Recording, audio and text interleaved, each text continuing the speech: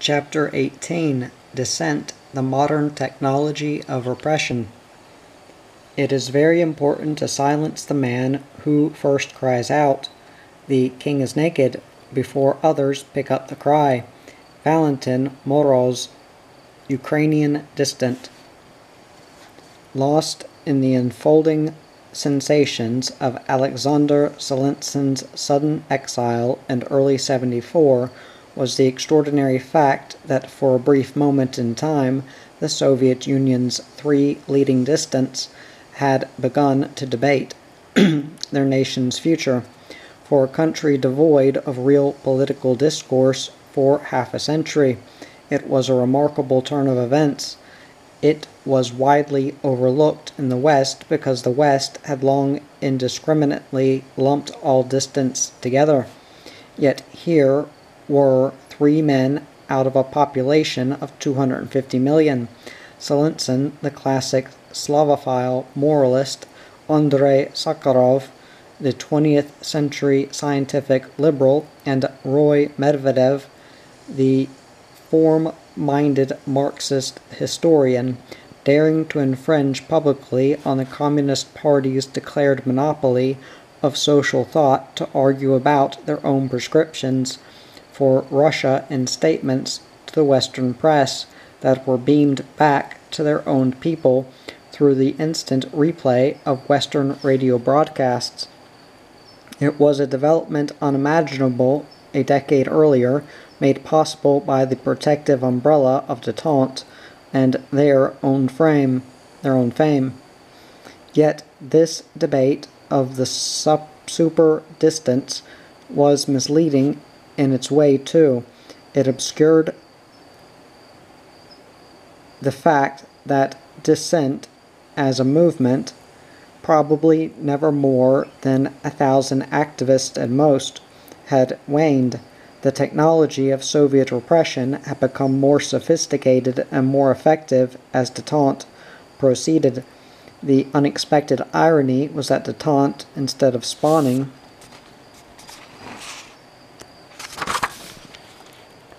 more general ferment among the Soviet intelligentsia, as the West had hoped and the Kremlin had feared, became a reason for tighter controls and sometimes provided new techniques for quieting disaffected intellectuals. Only those of the stature of Solzhenitsyn, Sakharov, and Medvedev could use its shield to deepen the substance of their dissent. In those final months before Solzhenitsyn was forcibly ejected, Sakharov was often automatically paired with Solzhenitsyn, vilified in the Soviet press as a renegade and turncoat, who had slandered and betrayed with black ingratitude the motherland which had nurtured him, sanctified in the West as the champion of individual rights a symbol for humanizing detente and opening up the Soviet Union to greater democratization. Solzhenitsyn had won the Nobel Prize for Literature in 1970, and Sakharov would win the Nobel Prize in 75. Yet I found Sakharov and Solzhenitsyn immensely different men. In person, Sakharov hardly seems the man to stir an international uproar.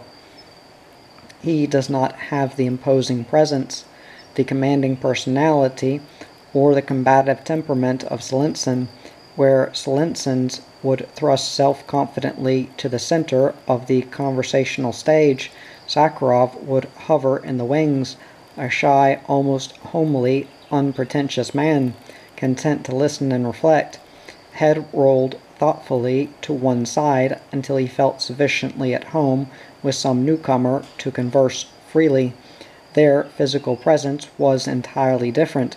The Solzhenitsyn of barrel chest, lined and ruddy face, work-worn hands, mahogany beard, and penetrating eyes is physically as well as mentally powerful.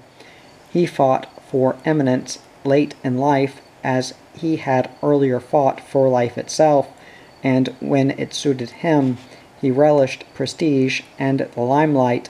By contrast, Sakharov emanates vulnerability, he is a tall but slightly stooped figure with high intellectual forehead and two patches of thinning gray hair bordering his baldness, large hands unscarred by physical labor, and sad, compassionate eyes. He is an inward man, a Russian intelligent and intellectual through and through. In his reticence and his con- conversational lapses, one senses the solitary thinker. His own natural penchant for privacy was reinforced by two decades of enforced privacy in the Soviet nuclear research program, where outside contacts were forbidden and a personal bodyguard moved with him everywhere, even when he went swimming. Puckishly, he told me, he had once given the guard the slip to go off skiing in the woods his unprecedented Soviet awards and decorations won him no public fame, since they were bestowed in secrecy. His picture had not been printed in the press. My colleague, Ted Shabad, saw him walk into a grocery unshaven and in a rumpled raincoat, looking for something to celebrate the birth of his first grandchild, and pass all but unnoticed and unrecognized a theoretical physicist of the stature of Oppenheimer and Teller, Sakharov gained eminence naturally, easily, and early in life as one of the fathers of the Soviet hydrogen bomb. His meteoric scientific career, Doctor of Science at 26, full member of the Academy of Sciences at the unheard of age of 32, earned him high position an early fortune of nearly 140,000 rubles, and direct access to the pinnacle of the Soviet system. One of his first acts of dissent was a note scribbled to Khrushchev during a Kremlin meeting in which he objected to 100 megaton nuclear test as technically unnecessary, politically risky, and biologically harmful because of radioactive fallout. For a decade, he voiced such misgivings only within the rarefied atmosphere of the Soviet elite. Abroad, Sakharov's name was unknown until 68, when his memorandum, Progress, Peaceful Coexistence, and Intellectual Freedom, advocating an end to the arms race, proposing detente, and urging convergence of the socialist and capitalist systems, leaked out to the West. Only thereafter did Sakharov begin to use his intellectual eminence in a public way, and then sparingly at first. Unlike Solzhenitsyn, his instinct is to avoid the limelight. For months I tried, as did others, to persuade him to allow an interview or a journalistic portrait, but he shied away from personal publicity, only with reluctance, feeling cornered and falsely accused by a shrill propaganda campaign in the Soviet press did he take his personal problems to the world press in the fall of 73.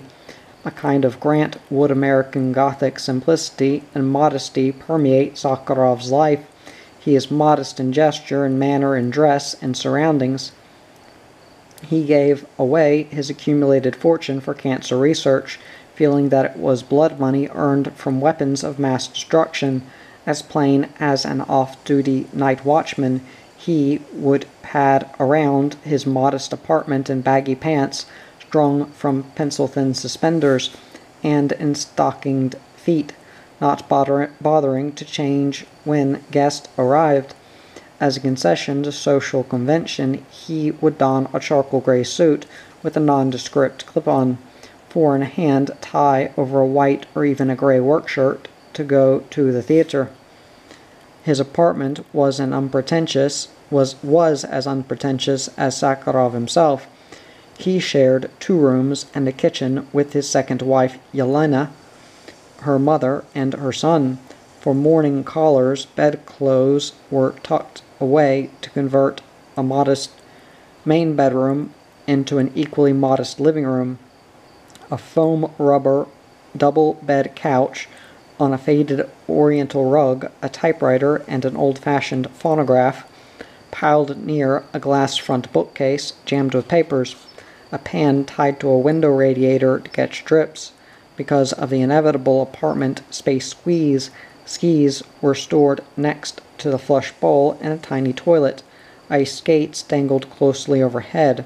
The first time someone took me to his apartment, we arrived to find it in a total turmoil for repairs, with instinctive Russian hospitality.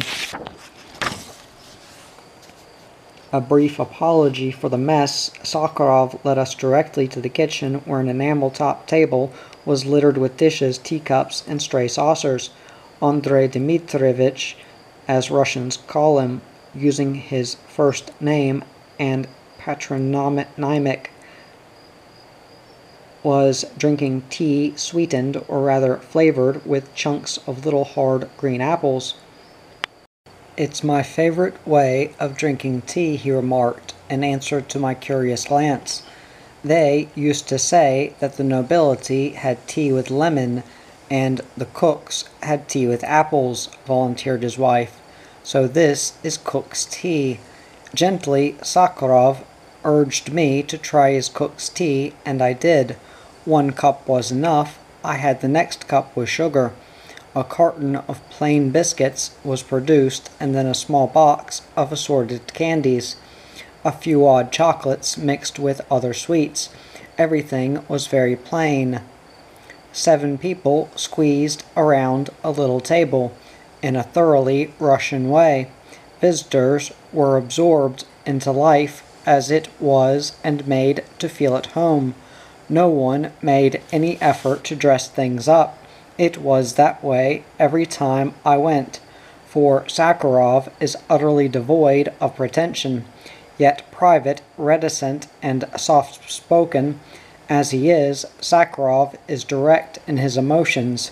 When moved, he has a vibrant sense of outrage at injustice, a quick and deep compassion for the suffering of others, a naive directness of action and speech heedless of the personal consequences, though threats and harassment against his family have pained him acutely.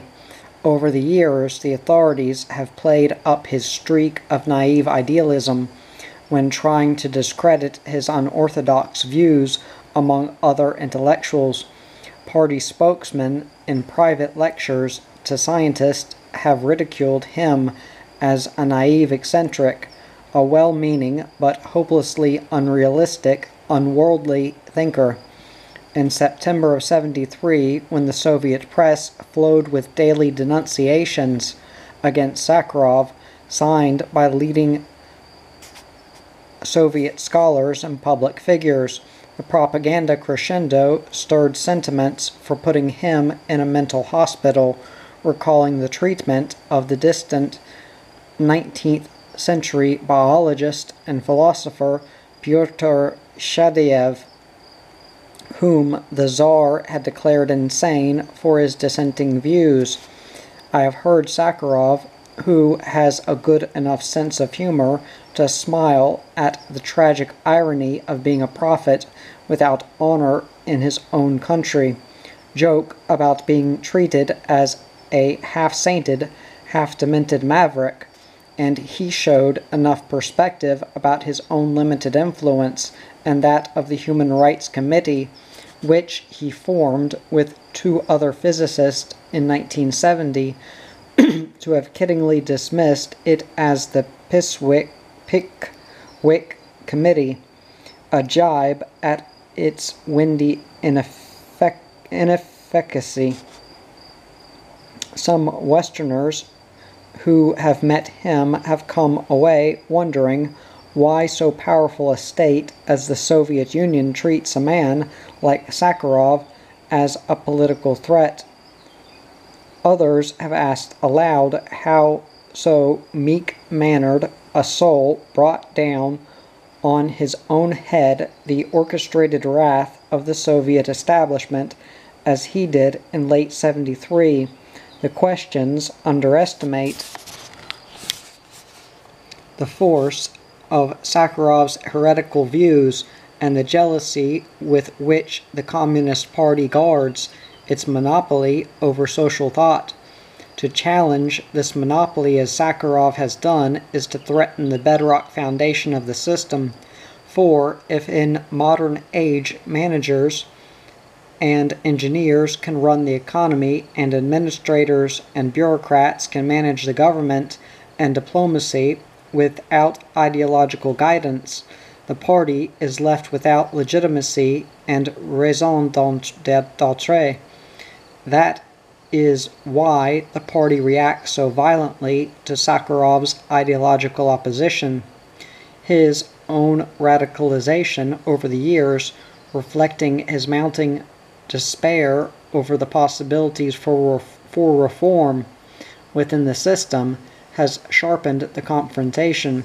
He has been influenced, too, by his second wife, Yelena Georgievna Bonner, an Armenian Jewish dissident activist whose mother spent 16 years in the camps.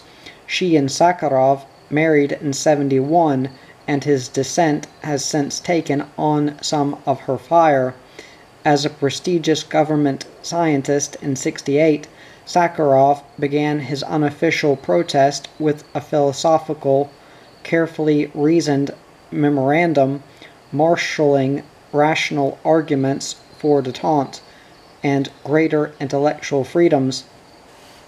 It condemned the foulness of Stalinism and the influence of neo Stalinists, but it balanced criticism of Soviet repression with critiques of capitalism and American policy and strongly affirmed Sakharov's profoundly socialist viewpoint. For this 68 memorandum, Sakharov was fired from the Soviet nuclear program, but his ideas circulated wide, widely and his prestige soared among scientific liberals for whom he had emerged as a daring spokesman. Within five years, however, he had become a pariah who was raising an anguished cry for persecuted dissenters in mental hospitals for Armenians secretly tried and jailed for advocating national separatism, for Jews who wanted to immigrate, for nonconformist Baptists persecuted for giving their children religious training. He had been arrested for joining in the protest vigil at the Lebanese embassy over the killing of Israeli athletes at the 72 Munich Olympic Games, and his censor of Soviet society had become harsh and sweeping. I am skeptical of socialism in general, Sakharov declare, declared in July 73 to Olle Stenholm, a Swedish radio correspondent, in an interview that caused Stenholm's expulsion and led to the press campaign against Sakharov. I don't find that socialism has brought anything new in the theoretical plane or a better, better social order. We have the same kinds of problems as the capitalist world criminality and alienation. The difference is that our society is an extreme case with maximum lack of freedom, maximum ideological rigidity, and this is most typical with maximum pretensions about being the best society, although it certainly is not that. Already in the series of statements, Sakharov had advocated wide reforms, an electoral system with multiple candidates,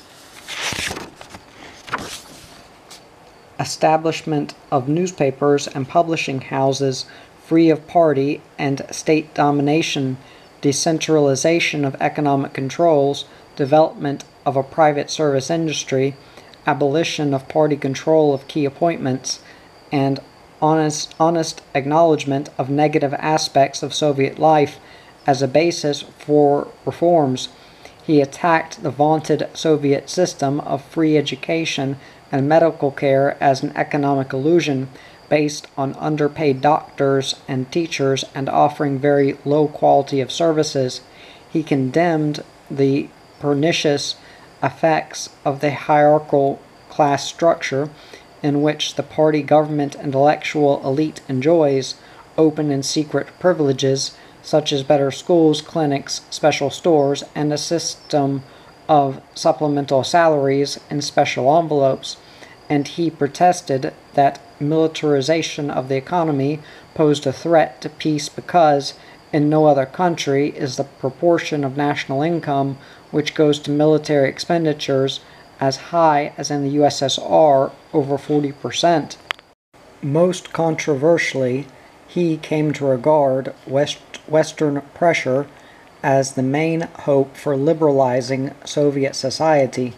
Privately, I heard him plead for Western liberals to protect harassed Soviet freethinkers with their public protests and to keep their own countries strong and united as a counterweight to growing Soviet might. Publicly, he issued appeals for Congress to exact a price for trade concessions to Moscow, no equal tariff treatment, or large long term credit unless the Kremlin opened wide the doors to free immigration. He reasoned that if the Soviet leadership could buy high technology from the West without being forced by the West to liberalize internally, the Kremlin would lose all incentive to free its own scientists and intellectuals. On the fifth anniversary of the August 21, 1968 Soviet invasion of Czechoslovakia, he called foreign reporters to his apartment to read a chill warning about the danger of a false detente. Detente without democratization in the Soviet Union, detente in which the West, in effect, accepts the Soviet rules of the game, would be dangerous. It would not really solve any of the world's problems and would simply mean capitulating in the face of real or exaggerated Soviet power. It would mean trading with the Soviet Union, buying its gas and oil while ignoring other aspects.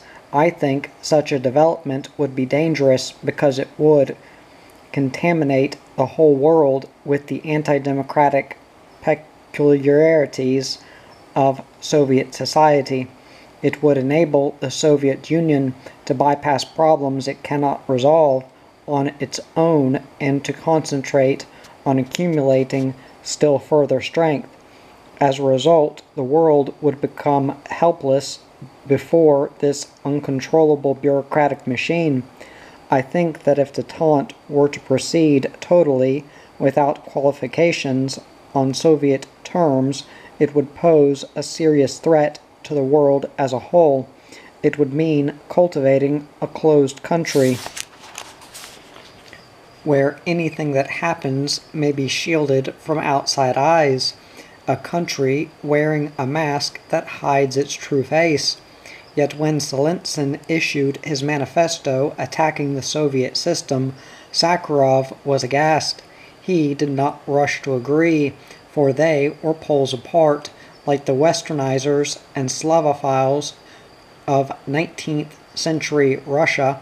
I remember Sakharov sitting in a faded bathrobe and slippers on his daybed one evening, distraught at the news from an academic friend that a group of his university students were enthralled by Solzhenitsyn's vision of a holy Russian Renaissance.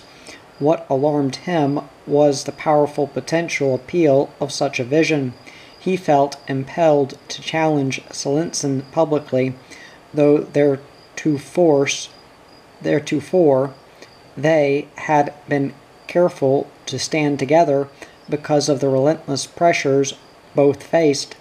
In that very Russian way, Sakharov spoke of how he bowed deeply before Solzhenitsyn's morally powerful exposés of Stalinism in Gulag Archipelago and other works.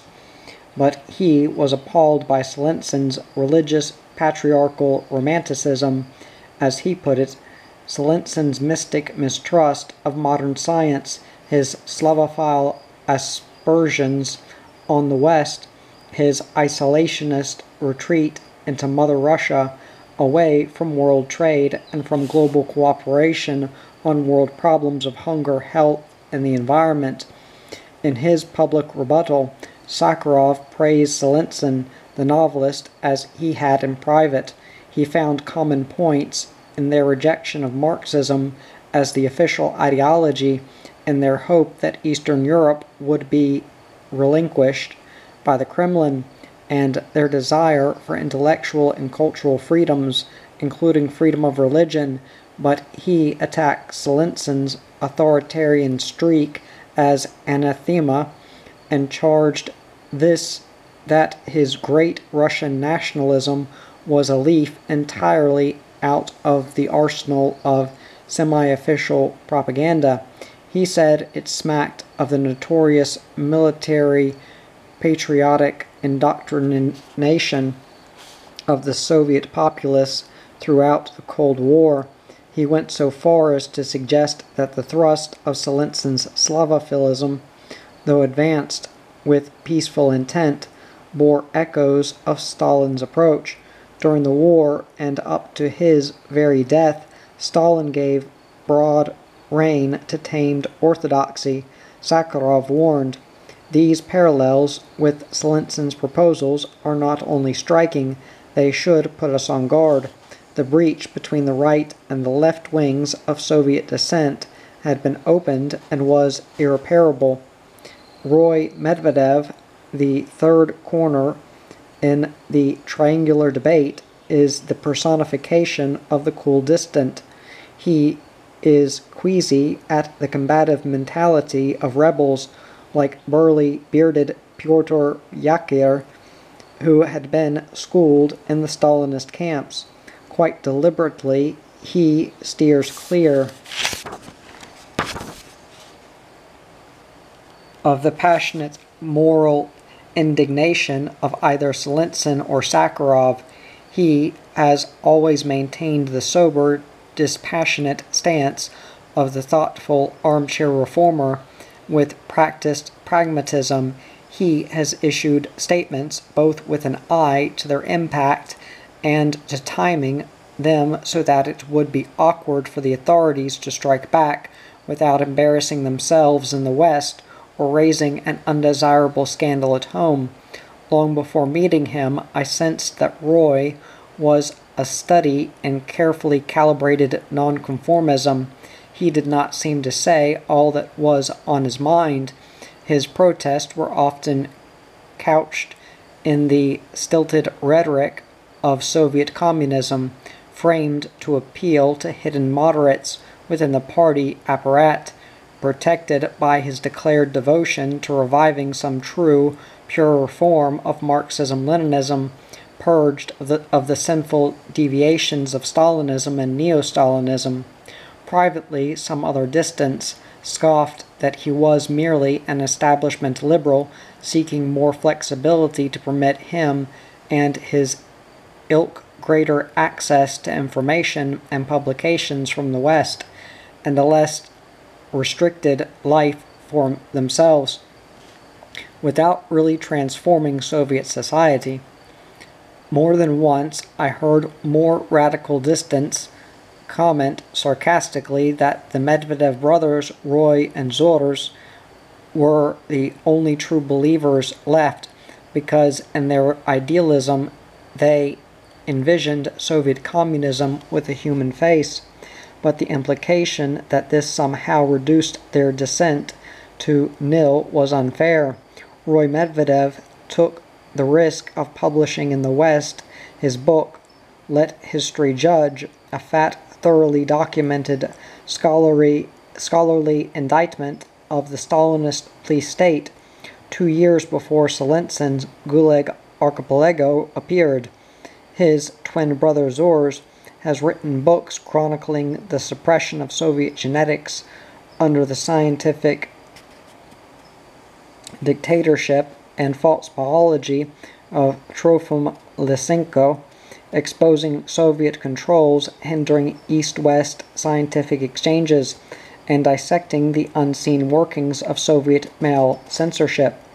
Together, they wrote A Question of Madness, a shocking yet antiseptically told account of how Zhores was lured into a mental hospital in 1970 to silence his dissent and how Roy raised an international scandal to get him out.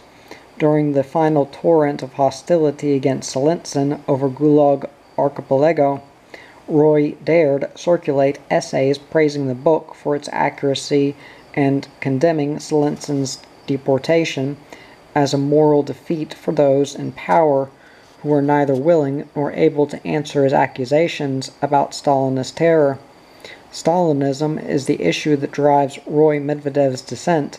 At 13, with Zhores, he saw his father, a former political commissar in the Red Army during the Russian Civil War, and later a party instructor at Tolmachev Military Political Academy, dragged away in the middle of the night by Stalin's secret police in 38.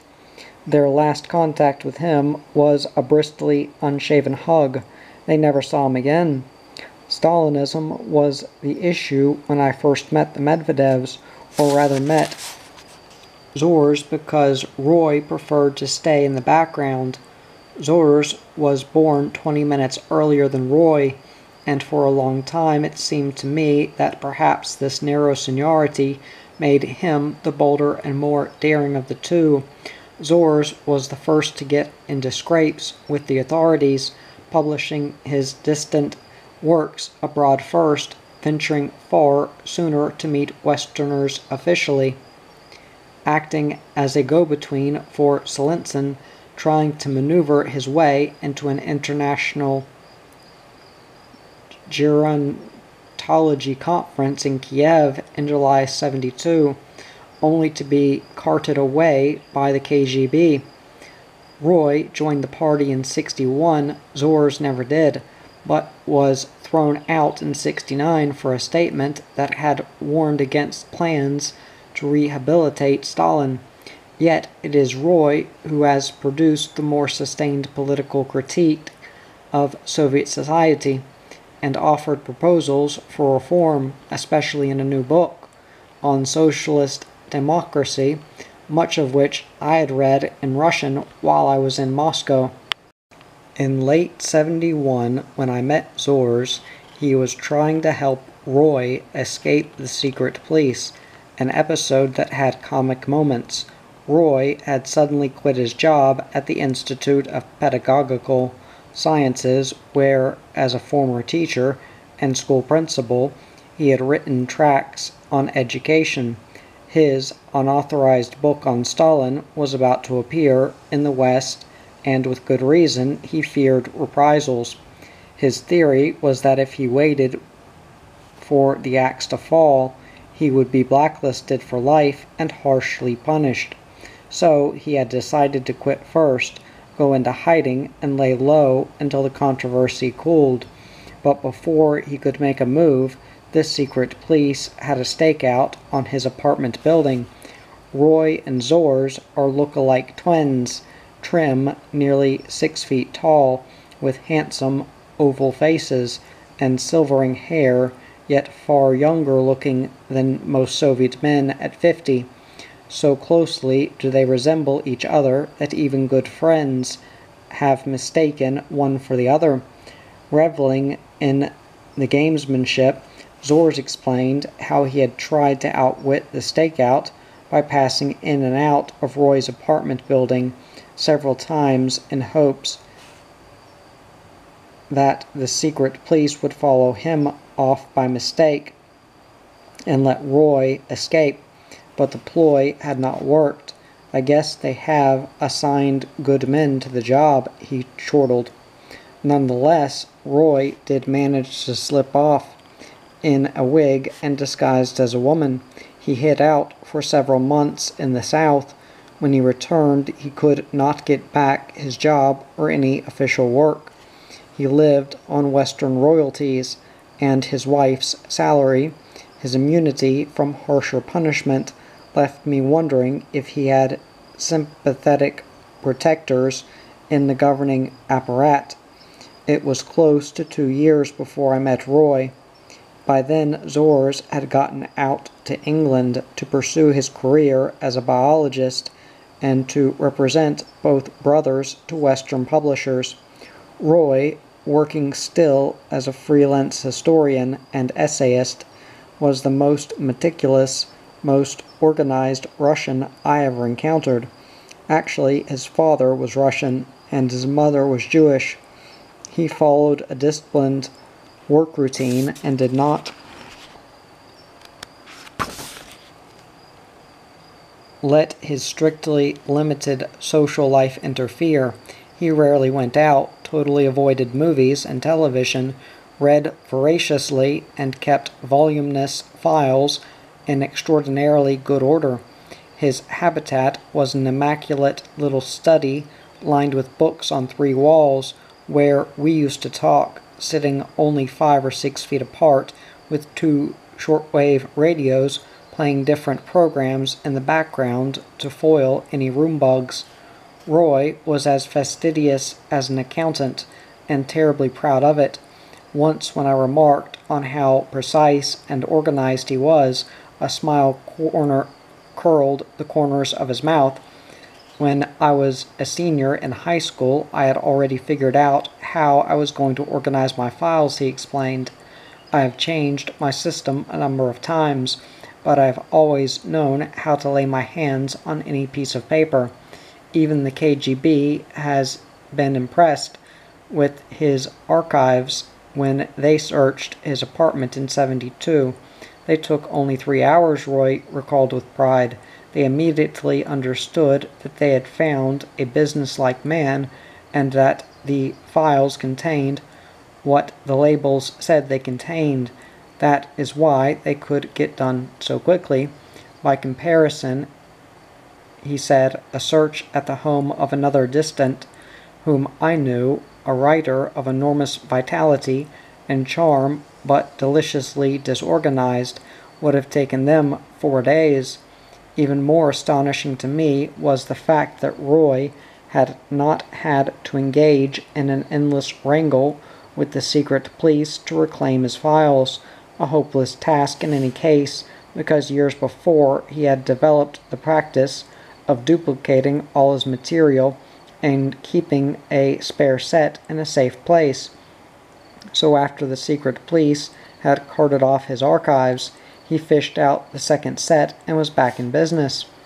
This unruffled equanimity was Roy's trademark. It was a piece it was of a piece with the careful calibration of his protest, his calculated tactic of refraining from extremes that would make the authorities feel compelled to garrot him. Unlike Sakharov and Solzhenitsyn, he pointed out to me, he had not been attacked in the Soviet press. Moreover, he said he had let officialdom know his basic lines of research. Indeed, the Stalin book was launched in 62 during Khrushchev's de-Stalinization with the idea of having it officially published in Moscow, but by the time it was finished in 68, the party line had changed and Stalin's rehabilitation was underway. Still, the manuscript was shown to party officials. In part, this explains why Roy took pains to make it palatable, treating Stalinism as pseudo communism, a perversion profoundly alien to Marxism Leninism, rather than a fundamental flaw of the system, and why he so gingerly treated the little Stalins of Soviet life, now high officials who had fattened their own careers with the help of the Stalinist purges. Even when writing about contemporary Soviet life, Roy has avoided attacking the party head on, but has criticized neo Stalinist deformations and conservative dogmatism. In short, Roy Medvedev is an unusual phenomenon among dissidents. He constitutes the loyal opposition. Publicly, he has chided other dissidents including Sakharov and Solzhenitsyn, for provocative behavior or extremist views. Although his own dissent has deepened in recent years, he is above all a pragmatist, a gradualist who envisions reform evolving slowly in the Soviet system, essentially decreed from on high but in response to pressures from an alliance between the best of the intelligentsia and the most forward looking individuals in the governing apparat, but not without periodic backtracking and retrenchment forced by neo Stalinists. Again, his approach made me wonder, as others have, whether Roy speaks for a hidden liberal faction inside the party but Roy was careful with me to insist that he spoke only for himself, though he made no secret of long time party connections.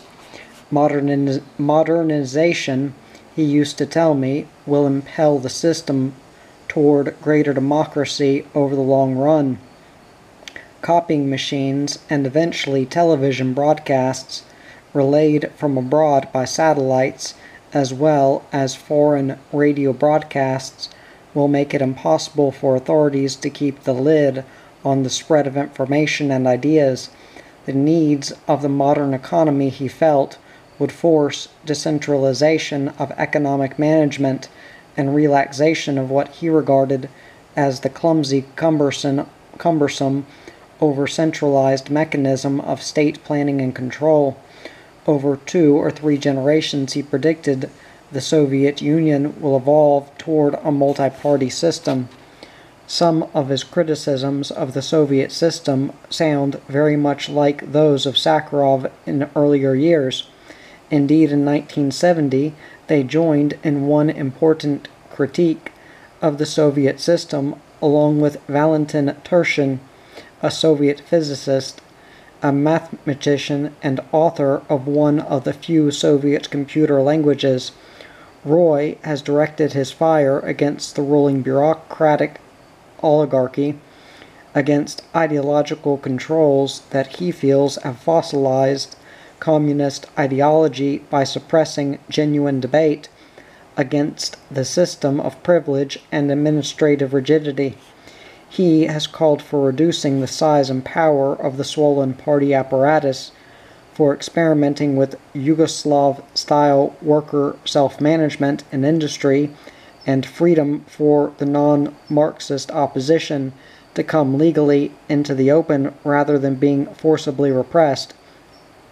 He has urged far greater freedom of information in science and academic life offering to a hidden audience of party liberals the lure that greater flexibility and relaxed controls will put new life into Soviet communism, which he feels has lost popular appeal. A process of normal political debate will only promote the development of Marxist Leninist ideology and the formation of a new, more capable generation of communist leaders. He contended in On Socialist Democracy, published in English in 75. At times, Medvedev has sounded as though he was preaching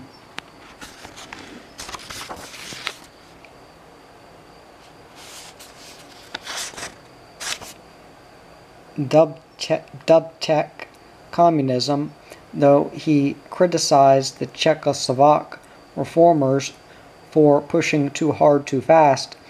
At one point, answering Solzhenitsyn in the spring of 74, he called for absolute freedom of speech and convictions, freedom of organization and assembly, freedom to propagate religion, free elections open to candidates from a variety of political groups and parties, but always within the framework of a socialist system. But at other times, he has hedged he has ridiculed Soviet censorship for being so rigid that even Marx and Engels could not pass the censors if they were writing today, but asserted that press freedom must be limited to protect not only state secrets, but party secrets and professional secrets, and for all his talk of other parties, he leaves in doubt whether any but the Communist Party could actually wield power More important, the whole temper of his dissent differs from both Solzhenitsyn and Sakharov. Medvedev strikes a detached philosophical pose and an air of patience where they are trying to mobilize others to speak out and press for changes today. His differences of viewpoint with Solzhenitsyn are fundamental. He dismisses Solzhenitsyn's religious Russophilism as both unappealing and unrealistic. Religion, he, re- he reasons, cannot attract enough people in the modern age to serve as the underpinning for society. And if Solzhenitsyn's scheme were imposed, it would run the danger of degenerating into a repressive theocratic state, an echo of the Spanish Inquisition. Roy Medvedev's disagreement with Sakharov has emerged more subtly. For several years, they stood together publicly, despite private differences, joining in appeals for liberalization and relaxation of controls in all walks of life. But when Sakharov urged the West to pressure Moscow into reforms, Roy's pragmatic loyalist streak forced him to break with Sakharov. When Sakharov was warning the West against a false detente in which it risked being hoodwinked into helping the Soviet regime strengthen itself and narrow the technological gap. I heard Roy insisting privately that if the United States put preconditions on trade and credits, the insult of ultimatums would anger the Kremlin and backfire. Come December 74, he held up Moscow's cancellation of the Soviet American trade agreement as evidence. Roy's position was that the West could influence Soviet handling of individual cases, but that Sakharov and others were overestimating Western influence on the general situation inside the Soviet Union. In the long run, Roy reasoned, Western leaders would lose interest in Soviet, Soviet internal reforms and problems. His hope was that over 10 to 15 years, tendencies toward reform within the Soviet leadership would be fostered by increased contact with the West through, through detente. But he was an honest enough historian to acknowledge that during the first couple of years of detente, the pressure against dissent even increased and repressive measures tightened. Sakharov's own position is a case in point. He was vacationing on the Black Sea in August 73 when the flood of officially inspired vilification against him broke loose, he and his wife were lying on a beach near Sochi, his wife told me, when they overheard transistors broadcasting a stream of vitriol against this renegade scientist who had sold his soul to the West. No mention of his role in helping make the Soviet H bomb. Around them, knots of vacationers fell into the mood, talking about Sakharov cursing his disloyalty and his supposed opposition to detente, while he lay among them unrecognized. Sakharov's wife wanted to get away quickly, but Sakharov lingered on. He approached one group and, after listening to them scold him, inquired whether anyone actually knew Sakharov or had read what he had written. No one had, yet for all the conventional skepticism about Soviet propaganda on other matters, these people had taken it as face value on Sakharov. Quietly, still anonymous, he suggested that it would be worth knowing what Sakharov had actually said, because perhaps he is a man with good intentions after all. Unable to bear it any longer, his wife hustled him off the beach out of fear that he might be hurt if people discovered his identity. The propaganda onslaught against Sakharov ended abruptly on September 9th after protest from Willy Brandt, Austrian Chancellor Bruno Kreisky, Swedish Foreign Minister Krister Wickman, and a warning telegrammed to the Soviet Academy of Sciences from Philip Handler, the head of the American Academy of Science. Harassment or detention of Sakharov, Handler apprised sternly, will have severe effects upon relationships between the scientific communities of the USA and USSR and could vitiate our recent efforts toward increasing interchange and cooperation. That touched a vital nerve. The Kremlin obviously felt that the price of carrying the campaign against Sakharov to its ultimate conclusion had become too high. Western intervention had thus proven a deterrent against the possible arrest of Sakharov. He had been questioned and warned by the deputy procurator general and the secret police, or detention in a mental hospital and expulsion from the Soviet Academy, which the party apparat had desperately been trying to engineer behind the scenes.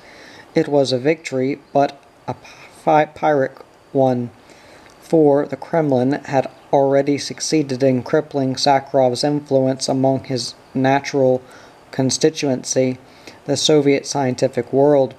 He had become an isolated and demoralized man.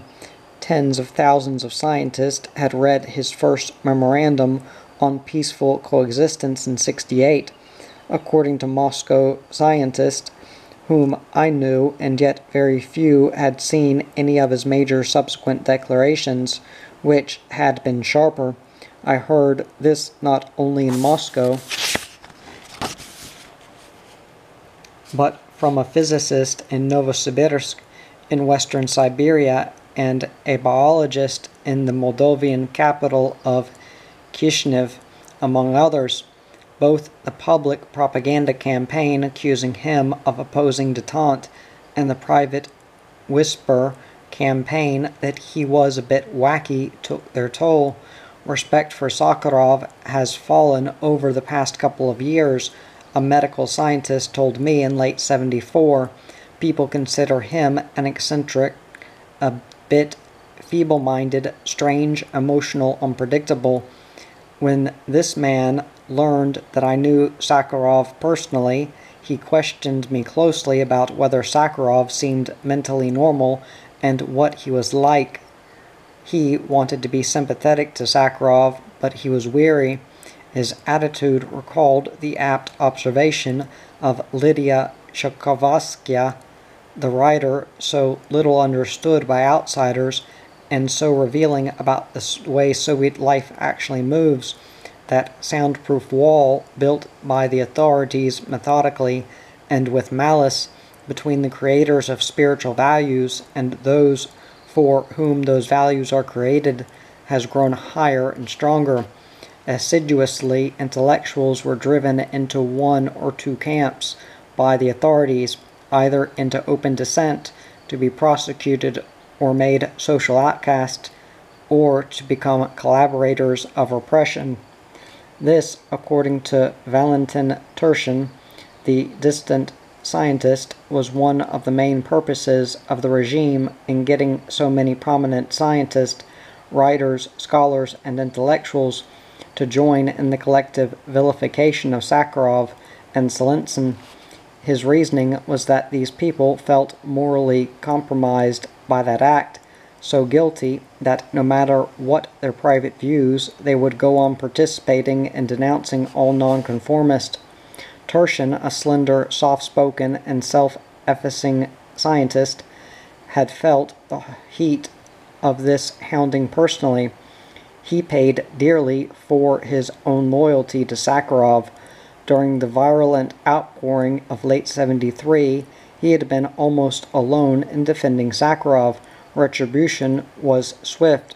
A mass meeting was organized at his institute, the Institute for Computer Systems in the Construction Industry. It was one of those classic criticism sessions where the institute director, the party secretary, and other workers publicly chastised Turchin for siding with Sakharov. Some called for him to be fired, though he was temporarily spared when the campaign against Sakharov ended, but immediately he felt the chill of ostracism from colleagues who privately sympathized with him, and he fell to analyzing what he called the technology of oppression in the era of detente. There is an unbelievable cynicism among people, he remarked one evening. The honest man makes the silent ones feel guilty for not having spoken out. They cannot understand how he had the courage to do what they could not bring themselves to do, so they feel impelled to speak out against him to protect their own consciences. In the second place, they feel that everyone everywhere is deceiving everyone else based on their own experience. Homo Sovieticus is like the prostitute who believes that all women are whores because she is.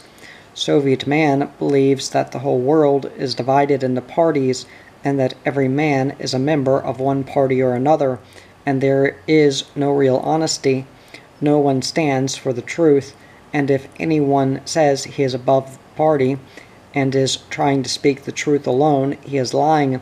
This cynicism greatly helps the authorities keep the intelligentsia in line and exclude the wild, dis- the wild dissidents from society. People can travel to the West and hear Western radio broadcast, and it makes no difference so long as there is the pervasive cynicism that it is just the other side speaking. This cynicism provides the stability of the totalitarian state today in place of the fear of the Stalinist years. Sakharov himself told me that he had been effectively ostracized by all but a few friends like Turchin, hardly any of the other top scientists who used regularly to frequent his dasha still paid him visits after the 73 campaign. For establishment figures, private contact with him had become poisonous. His own friends and supporters suffered. Valery Chalidze and Andrei Tverdokhlebov, the two younger physicists who had joined him in forming the Human Rights Committee, were fired from their jobs. Tverdokolob was eventually arrested. Threats of Siberian exile became so intimidating to Chalidze that he accepted the out of going to America. In the summer of 74, Turchin was fired from his job for social reasons. As the euphemism went, and effective economic blacklisting forced at least four other institutes to reject him because he would not pledge to keep quiet. When I last heard from him in October 75, he still had no work. The KGB had interrogated him several times, searched his apartment, and seized his typewriter and many of his private papers. He was trying to come to America as a visiting scholar before being arrested and carted off to Siberia, but the path to immigration was being blocked too. Sakharov admitted privately to me that after the 73 campaign against him, he had become so disheartened that he had applied for permission to go to Princeton's Institute of Advanced Studies and had tried to arrange for his stepson, stepdaughter, and her husband to be admitted to MIT for what would obviously be permanent exile. Theoretically, his own appointment would be for a year, but he recognized he might never get back to Moscow if he ever got out. Mainly for that reason, he dropped the idea of going abroad himself after Solzhenitsyn had been forcibly deported. He felt morally obliged to remain rather than leave Soviet dissent without any commanding voice, but the tensions of anonymous death threats against his children and his grandson, the administrative harassments against his family, the refusal for many months to let his wife go to Italy for medical treatment to keep her from going blind were wearing him down. Although The award of the Nobel Peace Prize in October 75 undoubtedly gave him and his small band of friends a lift. His protests were increasingly those of a single voice rather than one joined by a chorus of supporters. In mid 75, he cried out in pain against threats and thuggery against his family, who he said were being used as hostages against him. Nor was this merely Sakharov's personal plight. It reflected a more general retrenchment of Russian dissent. Various nationalist groups in Lithuania or Armenia, or religious groups like the non official Baptists, issued periodic collective appeals and protest, but dissent, but dissent among the liberal Russian intelligentsia was disintegrating as the 70s wore on. If the great debate of the super distance briefly displayed the substance and vitality of their ideas, it also demonstrated that such outspoken nonconformism had increasingly become a luxury of the world famous. What had rather pretentiously called itself the democratic movement, a loose coalition of a few hundred dissident intellectuals, had been dispersed, deported, and demoralized by the mid 70s. Many people who had once shared shared Roy Medvedev's hope of liberalizing Soviet society from within were overcome by a sense of futility. The contrast was striking with the early 60s when crowds gathered in Pushkin Square for open poetry readings in defiance of authority, or the mid 60s when literally hundreds of establishment scientists, writers, scholars, and cultural notables took the risk of signing petitions protesting the trial against Andrei Sinyavsky and Yuli Daniel, who were charged with illegally publishing anti Soviet works abroad under pseudonyms. This triggered a wave of mass protest in from 65 to 8. We all hoped then that by openly opposing the system, things would eventually get better an elderly Moscow writer told me. It was an uneven struggle, and we knew it. We had hope, but it got us nowhere. Now, what's the use? I remember in fall 72, in the first flush of detente after the Nixon Brezhnev summit, talking with a successful Moscow mathematician who was explaining why he was so reluctant to sign a protest against a new round of political trials in Czechoslovakia. This was a change for him because formerly he had been active in circulating petitions. It's another nothing paper, he said in despair. Your conscience tells you that you cannot be silent, but you know nothing will come of it. We tried it, and it made no difference, except that more people got hurt. He was referring to the scores who were ousted from the party and fired from jobs for signing the earlier protests. The sense of futility and disenchantment affected even the most hardcore activist. When Sinyavsky and Daniel returned from long years in Siberia, they did not rejoin the ranks of active dissenters, but kept quietly to themselves. Natalia Gorbanevskaya, a young poet, put in a mental hospital for her part in the brief Red Square demonstrations against the Soviet invasion of Czechoslovakia, came out of the hospital and went back to poetry and raising her child rather than activism.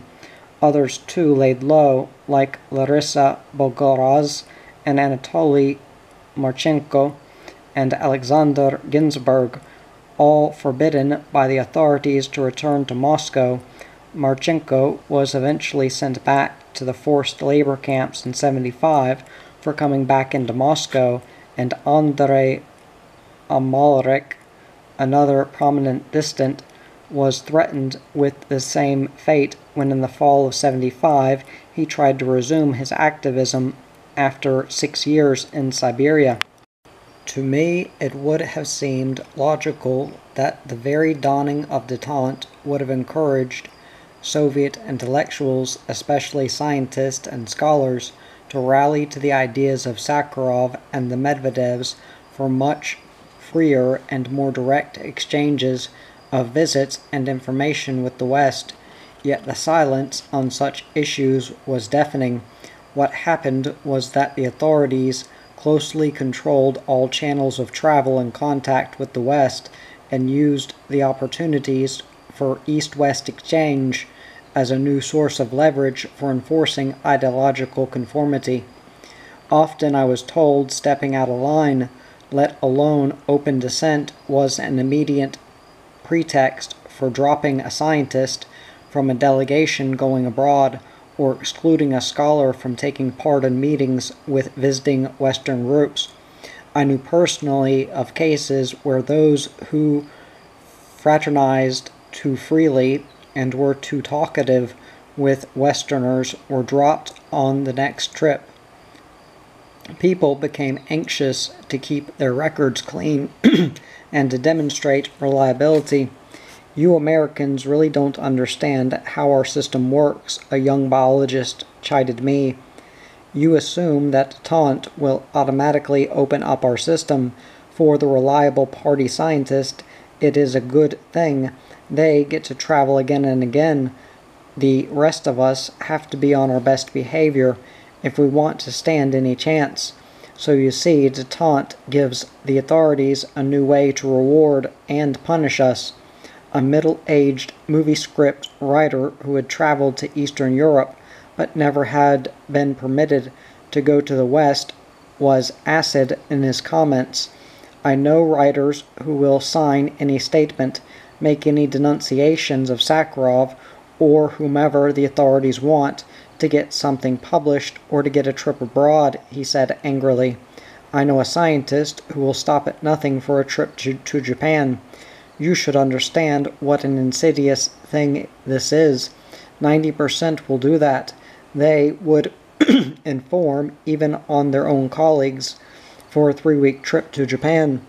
The technology of repression has become more refined in recent years. Roy Medvedev commented to me before, repression always went much further than necessary. Stalin killed millions of people when arresting a thousand would have enabled him to control people. Our leaders have never known how to go just far enough and not too far, but they have found out eventually that you don't have to put people in prison or in a psychiatric hospital to silence them. There are other ways. The very emphasis of Solzhenitsyn and others on Stalin's mass terror has blinded outsiders to the more subtle yet powerfully coercive mechanisms of the Soviet 70s. Modern Soviet authoritarianism is more efficient, though not as totally effective as Stalin's brand, because the near perfect conformism of public life is achieved with much less physical violence. People are already conditioned to conform. The KGB remains a formidable apparatus, some 500,000 strong by knowledgeable Western estimates. Here and there, I became aware of it as I was tailed on the streets of Yerevan or Riga, entertained by police plants in Central Asia who muscled more normal citizens away from my dining tables, or had my tires punctured outside Sakharov's apartment under the watchful eye of a late night taxi. My strongest visual impression of the awesome human resources of Soviet security services came when President Nixon arrived in Moscow in late 72 of May. He landed at Vnukovo Airport about 20 miles southwest of the heart of Moscow, thousands of gray uniformed policemen lined the route out to the city limits. Behind them, you could see a second line of men in plain clothes whose ranks continued out past the militia all the way to the airport. Mile after mile, these shadowy figures hovered amongst the trees every 20 yards or so.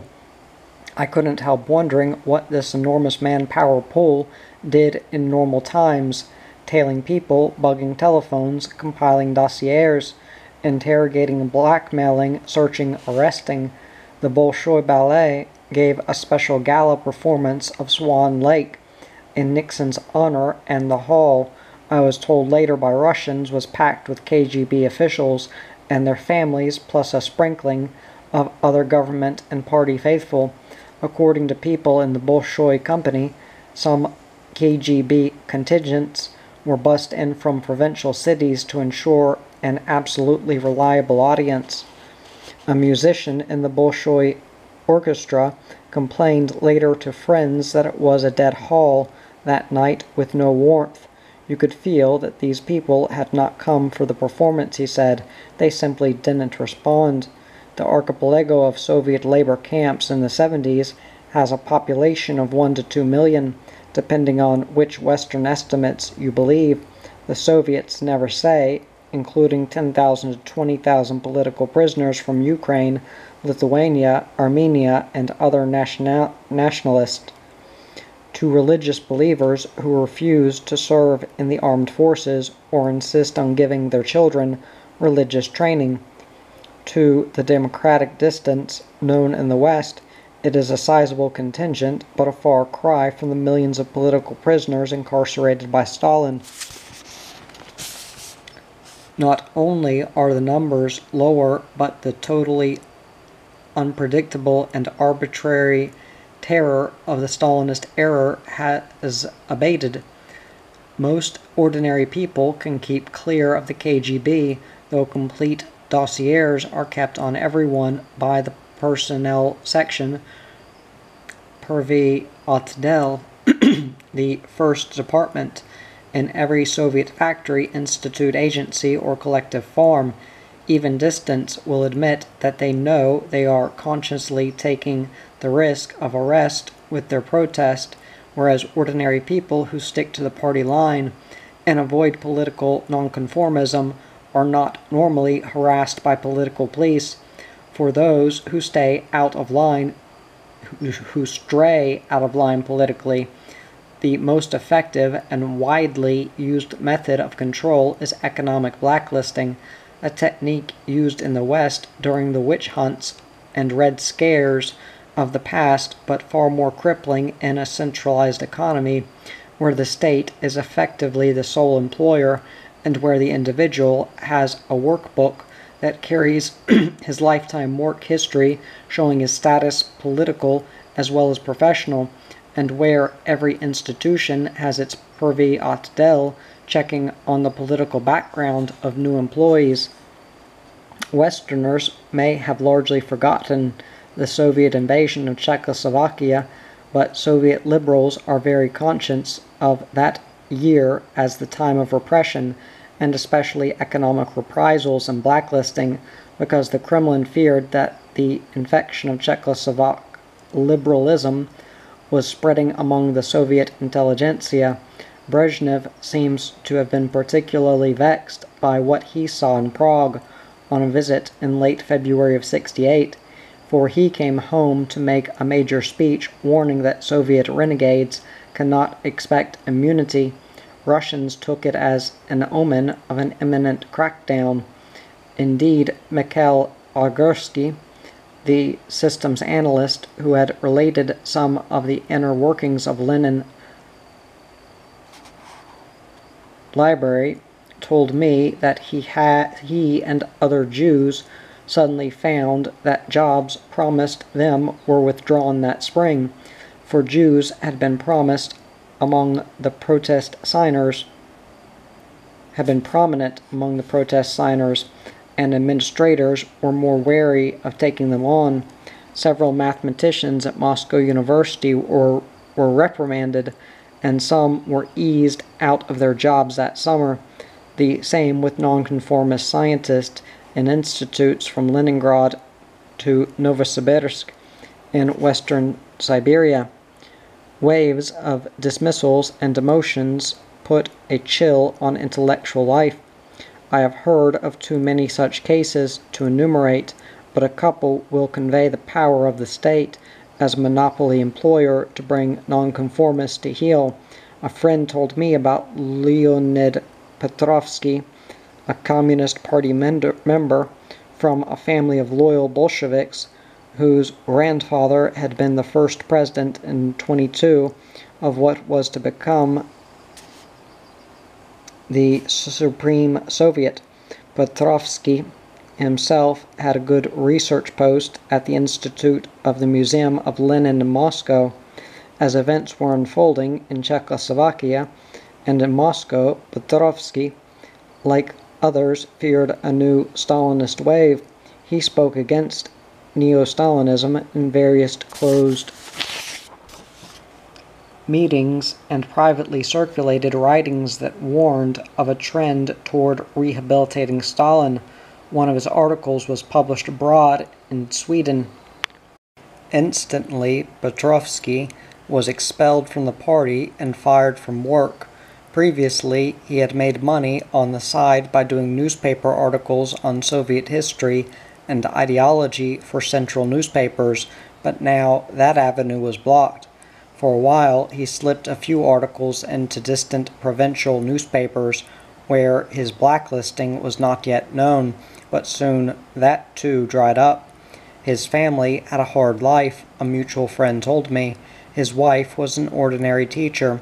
She made less than a hundred rubles a month, and they had two children. It is impossible for four people to live on so little in Moscow. Petrovsky could not get any work at all. They were desperate because of his family background. Petrovsky appealed to the Central Committee to give him a job somewhere. There was no answer. Many times he appealed, still no answer. Finally, after a long while, at least a year, I know, they called him in and gave him work at the state archives. Now he is in no mood to make any protest. He is a good man, honest but quiet. He is afraid. The permutations of this technique are infinite, but the intent and effect are almost always the same. I met a sad faced art historian, a large, lumbering man with melancholy eyes and a look of hurt innocence, who had been driven mercilessly from every job he had found in the course of seven years because he had signed one petition, only one on behalf of Sinyavsky and Daniel. Illegally, he had been fired in 1966 from the art publishing house where he had worked for many years. He went to court to contest the bureaucratic maneuver by which he was ushered, ushered out of his post. It was useless. He told me the judge privately admitted being ready to decide the case in his favor until secret instructions came from higher up to rule against him. Later, the man got occasional jobs in a school in an institute as an archivist in a library, and eventually he was so desperate he even took a job carrying books in the stacks. But always the political police caught up with him and he was fired. When I met him, he was out of work numbed by his hopeless position and dependent on his wife's modest salary as a university language teacher for support. He had a lifetime of unemployment ahead of him, for he was far less well connected than Petrovsky. I knew writers blacklisted for nearly a decade who survived only because of working wives or because friends in the literary world smuggled them work to be published under pseudonyms. Other people, though not fired, had careers stunted merely for guilt by association. Take Anatoly, a talented, promising, and likable young physicist of 30 at an institute in Obninsk, about 80 miles from Moscow. In 69, as a party member, he wrote a letter to the provincial party committee in Kaluga gently suggesting that they re examine the cases of two scientific colleagues sternly reprimanded for minor political deviations. His was a private confidential letter in conformity with the party rules that members address higher ups with problems. The politically savvy understand, of course, that this is a myth and they keep quiet, but Anatoly was conscience driven to defend his friends. The scientific council at his institute was convened its chairman instructed the other 32 council members that Anatoly's letter showed he was politically immature and recommended that he be demoted, for that, I was told, was what party headquarters had ordered. Although The other council members liked Anatoly and knew his professional talents. Only one man spoke on his behalf, asking why such a fuss was being made over a mild letter. Immediately, several others turned on this man, attacking him for going against the line laid down by the chairman. No one else dared defend Anatoly. A vote was taken by secret ballot. All 33 members voted for demotion, even the man who had originally defended Anatoly. I heard several other stories for collective sanctions, where everyone did the party's bidding, even against his own conscience, and despite the protection of secrecy, some dissidents called that pliant uniformity our greatest shame. None of these three, Petrovsky, the art historian, or Anatoly, were hardcore dissidents. Like many others, they were passively disaffected, except for an occasional overt act. Yet blacklisting demotions and economic pressures were enough to bring them to heel and to intimidate an entire segment of Soviet society, which would otherwise have provided a constituency for Sakharov and undoubtedly would have joined the trend of the late 60s toward increasingly open debate and dissent. But over the past five years, the Brezhnev led coalition effectively turned back the clock from the ferment of the early 60s and the greater activism of the mid 60s and reimposed effective controls on this amorphous but important element of the intelligentsia. In its tactics toward hardcore dissidents, the regime was much harsher but less inclined to overkill than previously. Some dissidents attributed this greater sophistication to Yuri Andropov, who became head of the secret police in 67 and who is widely regarded as the most intelligent member of the Politburo, detente too imposed a need for greater circumspection. Crackdowns were avoided at sensitive moments, such as the impending visit of a major Western leader, a critical period in East West negotiations, or before a trip by Brezhnev to the West. Out in the provinces where foreign diplomats and newsmen had no access roundups and trials could go ahead without hindrance, but in Moscow the secret police timed their reprisals carefully and cannily.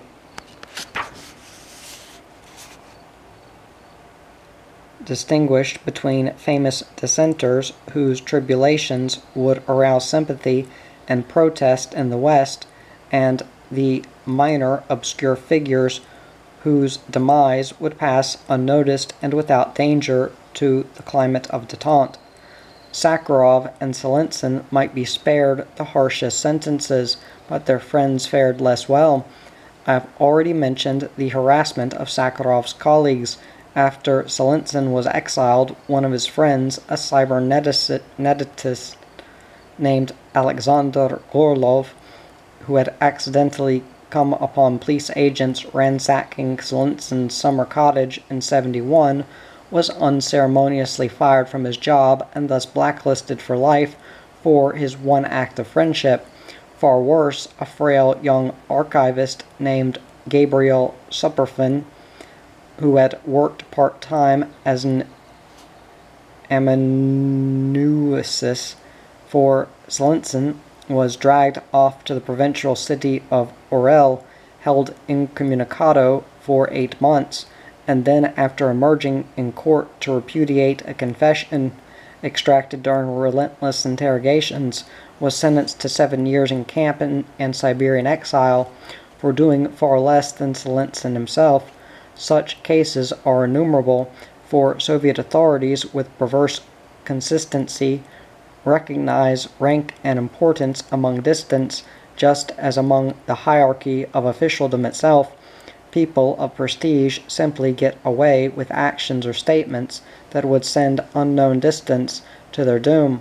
Lydia Chukovskaya, the iconoclastic writer who was eventually expelled from the Writers' Union for sheltering Solzhenitsyn and supporting Sakharov, pointed out several times that little people in outlying cities were being tried and convicted for merely possessing some of her anti Stalinist writings in protest, whereas she, partially protected by notoriety and family connections, was still free. This deliberate double standard not only isolates but torments the more famous dissidents who are haunted with the sense of guilt that others risk more for speaking their minds than they do. Another demoralizing technique used by the KGB with enormous effectiveness has been to set various factions of dissidents against each other and to play upon the natural self protective wariness of dissidents who must always be on guard against informers. I remember the painted the pained look of one writer as he described how the secret police had planted the cancerous slander that he was one of their agents, poisoning his relations with others. The Sakharov Solzhenitsyn Medvedev debate, though not of the KGB's making, had a tragic, acrimonious personal side that set the shrinking band of dissidents at odds with each other. But the most celebrated and devastating case was that of Pyotr Yakir, whose father had been one of the top Soviet army generals purged and executed by Stalin in 37. As a boy of 14, Yakir had been sent to the camps where he spent 16 of his 30 years. By the time I met him, he was nearly 50, a bold, shaggy haired, friendly, hard drinking, roguish dissident whose earthy, outspoken anti Stalinism and fearlessness made him a father figure to younger dissidents for correspondence, he had become an important channel of information, and for obtaining the bi monthly Chronicle of Current Events, the main dissident publication, a dispassionate record of their activities and repressions against him. Yakir's flamboyance and indiscretions worried more careful dissenters who feared his circle was penetrated by informers. Sadly, they turned out to be right. In late 71, the leadership decided to crush the Chronicle and its network of correspondents and distributors. By mid 72, they focused on Yakir and his friend, Viktor Krasin, another veteran of the camps. Both were arrested, held incommunicado for months, and eventually broken by interrogators to the point where they falsely confessed links with anti Soviet émigré groups abroad and implicated many other people. Scores of intellectuals in several cities, perhaps as many as 200, were interrogated and some forced into soul wrenching confrontations with Yakir and Krasin, who urged them to admit activities, some real, some false, because the KGB already knows everything. The impact on dissident morale was shattering. Too many had regarded Yakir as a rock of reliability and were unbearably disillusioned when he began to talk, disillusioned not only with him but with any hope for cooperative efforts to liberalize Soviet society. It is so painful, too painful to talk about, a Leningrad dissident told me. No more for me, said a gray haired Moscow translator. It shows that organizations are dangerous politically and morally. Politically, because you can be arrested by the police, and morally, because any organization can be infiltrated and corrupted from inside. Paradoxically, detente provided a final windfall to the secret police for dealing with dissidents too well known to be easily suppressed without scandal and too strong willed to be, to be turned into informers. For them, the new technique was expulsion. Actually, it was not entirely new as a tactic. Lenin and the early Bolsheviks had gotten rid of important anti communist intellectuals the same way in the post revolutionary period. Stalin banished his rival Trotsky in 29. In the 70s, Solzhenitsyn was the prime target. In a swift maneuver, Soviet authorities deported him and rid themselves of their most prickly internal critic. However troubled the West might be, it was powerless to reverse his deportation and relieved that Solzhenitsyn had not ended up with a bullet in his brain or condemned to rot away his final years in Siberia. For Moscow, his deportation was an extremely successful move. Six months later, his books were still hot contraband among disaffected intellectuals, but he was a far less palpable force and influence.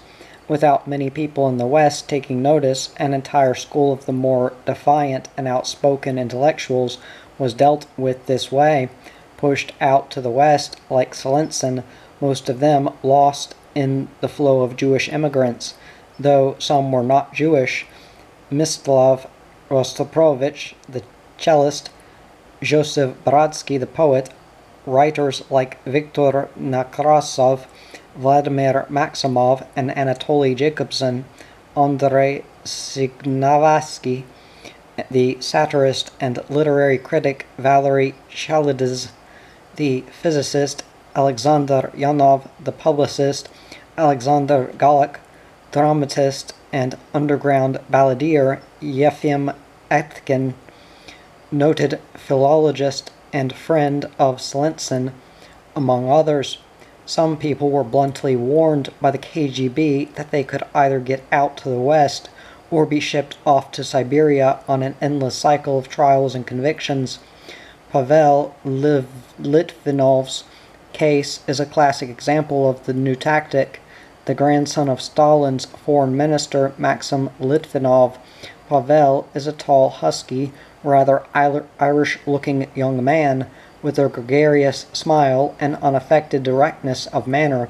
He was exiled to a squalid, distant, and miserably cold village in Siberia near the Manchurian border as one of seven participants in the August 25, 1968 demonstrations in Red Square against the Soviet invasion of Czechoslovakia. Although trained as a physicist and sent to an exile village which had no physics teacher in its local school, Pavel had to work as a manual laborer in a fluorspar mine where he returned when he returned to Moscow in December 72 he found it impossible to get regular work or to get re-registered for residence in Moscow with his wife and two small children. In the Yakir investigation, he was interrogated and blackmailed with offers of work and a resident permit if he would cooperate with the KGB. He refused. Somehow, he managed to get private jobs tutoring high school students in physics and translating scientific works from English, and also to regain his Moscow registration. But he was drawn back into his human rights campaign and had several run ins with the secret police. Events reached a climax on the evening of December 5th of 73 as Pavel headed for the brief annual human rights vigil in Pushkin Square. Half a block from the square, he was surrounded by four men who said they were from the KGB. They ordered him to go with them. I refused, Pavel later told me. I asked to see their identification. They refused to show me anything. The leader, a short, stocky man with wide shoulders and a boxer's face, an unpleasant face with his nose pushed in, told me, If you do not come, there will be a fight, and then you will get 15 days in jail for hooliganism. So I agreed to go. They led him to a local police station where the leader took Pavel to a little room and talked to him for 20 minutes. Rather humorously, Pavel called the pug nosed agent my sponsor in the KGB, for he knew everything about my case, my life history, my private life, my family. He was probably in charge of me. Oh, Litvinov, the KGB man said, you are really going back to your old business again. Of course, you must understand that we will not tolerate this. We will not stand for such things. It is better for you to stop this business, or you will be in much worse conditions than last time and for many years. Pavel took this as a clear warning of a long term in the labor camps. But then came the alternative. I know you have an invitation from the West and from Israel, the KGB man said. If you apply for an exit visa, it will be the best solution for all. Otherwise, you will go east. The alternatives were clear. He didn't promise me, but there was mutual understanding, of course, Pavel said. They must have known how I was feeling because I had I had made no secret of how discouraged I was about my future prospects. I had even talked with friends about going abroad. Of course, the KGB prefer for people who are well known in the West to go abroad rather than to send them to Siberia because there is less of a scandal. Within a month, Pavel had applied to emigrate, and two months later, he was in America. It was a pattern repeated in a number of important cases with the same choice go west into oblivion or see yourself slowly destroyed here. A fair number, like Litvinov, chose the west, and the dissident movement lost them for good. We are so alone, lamented one woman who stayed behind. First Solzhenitsyn, then Nekrasov, Galich, Litvinov, and all these others. Living in Moscow now is like living on the moon.